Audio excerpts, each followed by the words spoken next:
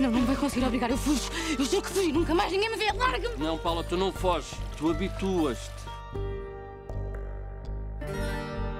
Quem eram aquelas mulheres que cantavam no coro? Freiras.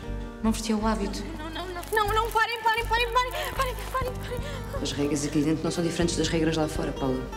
Manda quem pode e obedece quem deve. Eu não vou ser mais uma freira que faz doces. Eu vou ser a freira que come os doces. Venham eles de onde vierem. Viva o rei! És a mulher mais bela do mundo. Prometo que vamos viver o que nunca ninguém viveu. Pensava que eu não sabia do seu último romance de convento. Paula, não é? Está escrito na história. O meu pai destronou meu tio e eu vou fazer o mesmo com ele. Eu tenho de zelar pela minha nação. Este é o meu lar.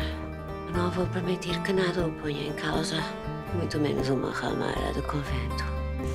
Por vezes, majestade, é preciso fazer o mal para fazer nascer o bem. Ele é o rei. E eu a mulher que o ama. Uma delas, Paula. Apenas uma delas.